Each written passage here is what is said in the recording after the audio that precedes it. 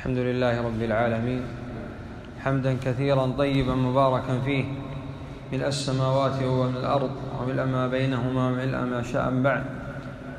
وأشهد أن محمدا أشهد أن لا إله إلا الله وأشهد أن محمدا عبده ورسوله. اللهم صل وسلم على نبيك محمد صلى الله عليه وسلم. أما بعد فقال الإمام النووي رحمه الله تعالى باب قال باب الكرم والجود والإنفاق في وجوه الخير ثقة بالله تعالى. ذكر الحافظ النووي رحمه الله تعالى هذا الباب بعد أن ذكر الأبواب التي قبله في عدم جواز سؤال الناس إلا عند الحاجة الملحة والضرورة الملجئة. فناسب أن يذكر هذا الباب وهو الحث على الإنفاق وعلى الجود وعلى الكرم وعلى الإحسان. فقال رحمه الله في هذا الباب العظيم باب الكرم والجود والإنفاق في وجوه الخير ثقة بالله تعالى. فهذا الباب يا عباد الله باب عظيم. فإن من مقامات الدين العظيمة وهو من أشرف مقامات هذا الدين العظيم مقام الكرم والجود والإحسان والإنفاق. لأن من أعظم قربات الكريم المنفق أنه واثق بالله سبحانه وتعالى. فهذه قربة عظيمة وطاعة جليلة أنك تكون واثقا بالله سبحانه وتعالى. وهذه لا يملكها البخيل وإنما يملكها الكريم لأنه ينفق ويثق بوعد الله سبحانه وتعالى. ولذلك من أعظم قربات المنفق ثقته بالله.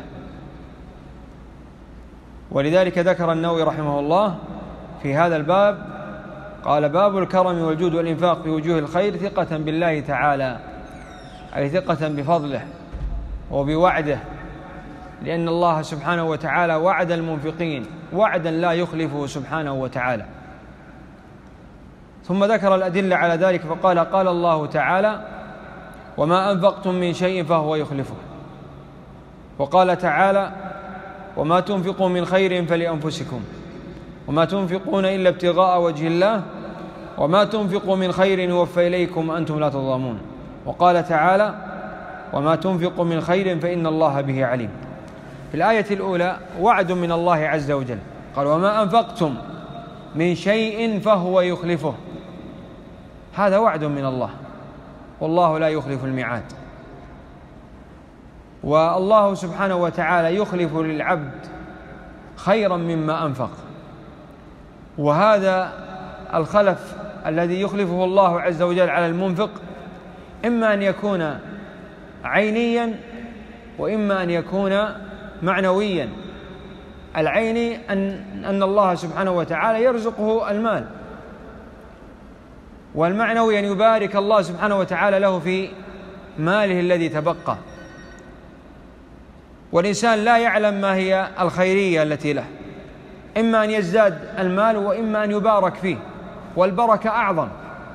إذا بارك الله عز وجل في المال فهو أعظم من كثرته مثله مرات ومرات. لأن المال قد يكون كثيرا ولا يبارك فيه والمال قد يكون قليلا ويكون مباركا. فالمدار كل المدار على البركة. فقد تنفق في سبيل الله مالا ويبارك لك في مالك بركة لا تعلم مداها. فهذا وعد الله والله لا يخلف الميعاد. ولكن عليك إذا أنفقت أن تنفق وأنت واثق بهذا الوعد. أن تنفق وأنت تعلم أن الله عز وجل أعد للمنفقين الأجر العظيم.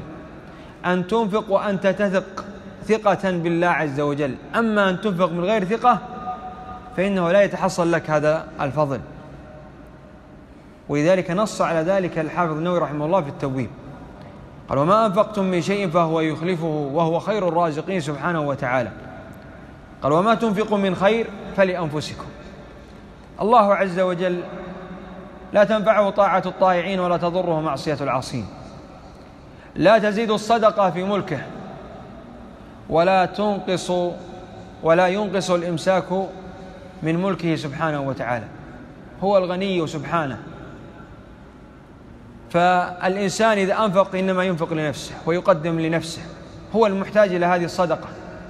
فالمنفق أحوج إلى هذه الصدقة من الذي ينفق عليه. أنت أحوج من المسكين الذي تعطيه. لأن هذه الصدقة نجاة لك يوم القيامة. ولذلك قال سبحانه وما تنفقوا من خير فلأنفسكم. يعني قدم لنفسك. الله ليس بحاجة لك سبحانه وتعالى. وما تنفقون إلا ابتغاء وجه الله. وهذا فيه الإخلاص. فإذا ذهب الإخلاص في النفقة والصدقة والإكرام والإحسان بطل العمل. وهذا النص من الله سبحانه وتعالى على هذه العبادة بالذات لأنها من العبادات التي يدخلها الرياء.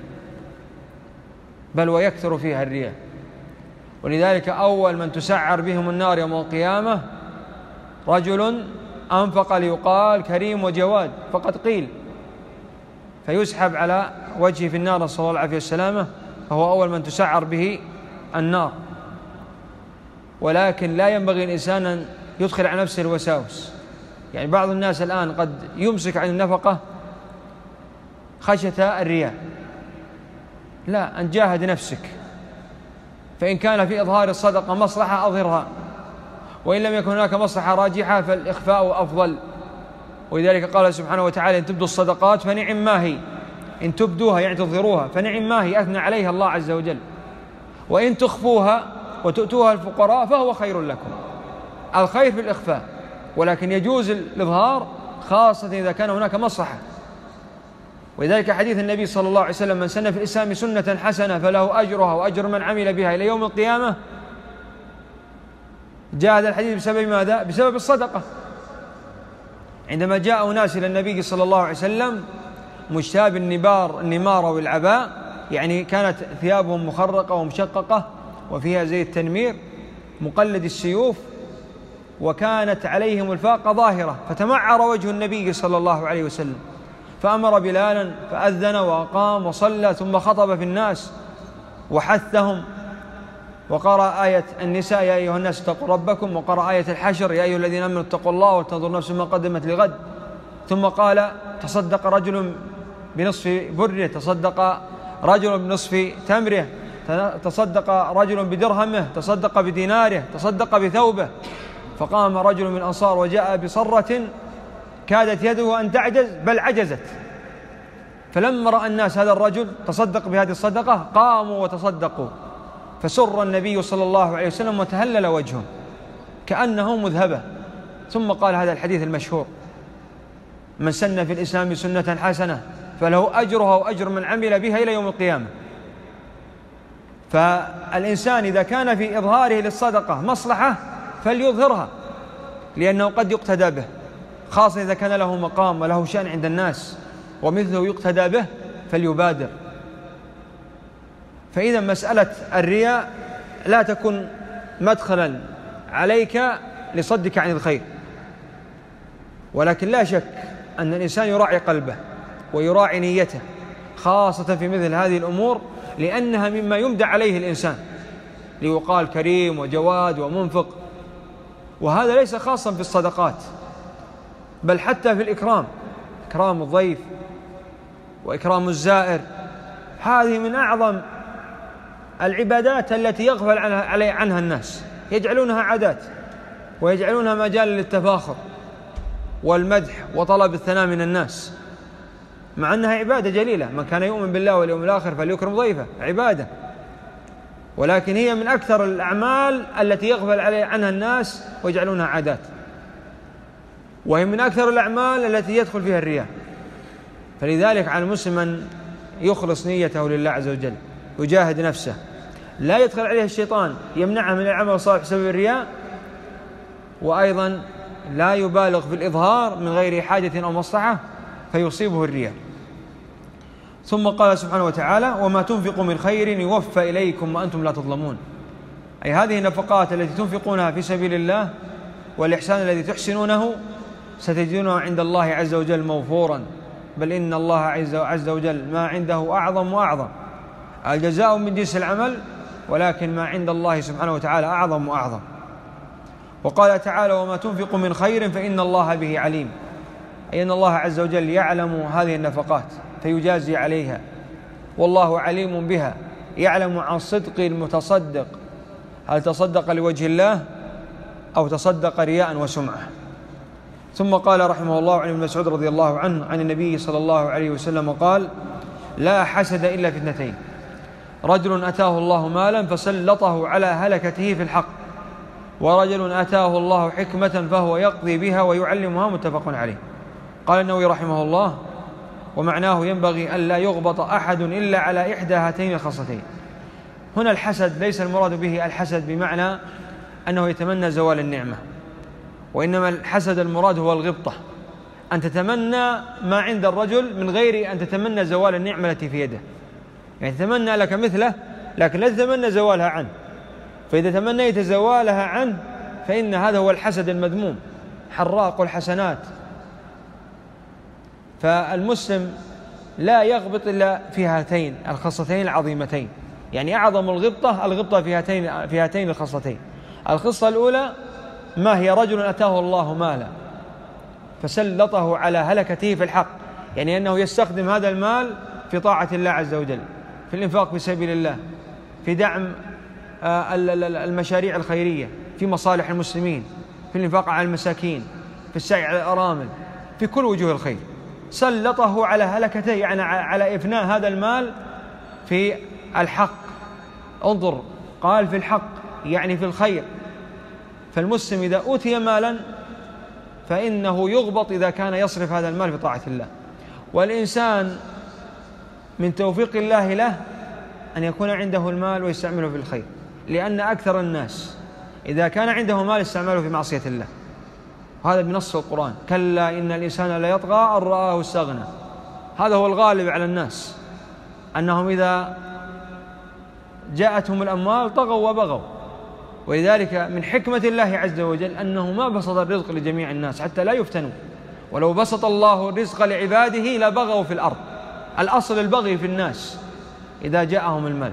ولكن من يسلط يعني من يوفق في تسليط هذا المال في الطاعة والعبادة فإن هذه من أجل الأعمال التي يغبط عليها الإنسان.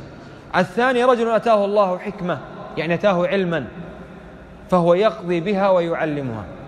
إذن عنده علم وهذا العلم حكمة. يعني يعرف كيف يستخدم هذا العلم. فهو حكيم في تعلمه حكيم في تعليمه. عندما تعلم العلم لم يقتصر على نفسه وإنما تعلم وعلم. وفي تعليمه وتعلمه حكمة. وهذا يدلنا على أن الإنسان لابد أن يسلك الطريق الصحيح في التعلم وفي التعليم. فإن خالف في التعلم ضل وإن خالف في التعليم أضل غيره. ولذلك هذا الحديث حديث عظيم لا حسد إلا باثنتين.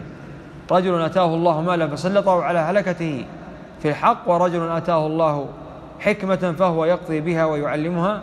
نسأل الله عز وجل من واسع فضله وكريم منه إنه ولي ذلك والقادر عليه وصلى الله وسلم على نبينا محمد وعلى آله وصحبه أجمعين.